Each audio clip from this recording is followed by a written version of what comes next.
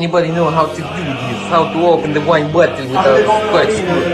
Yes, but that's no problem, you take this, you this with you.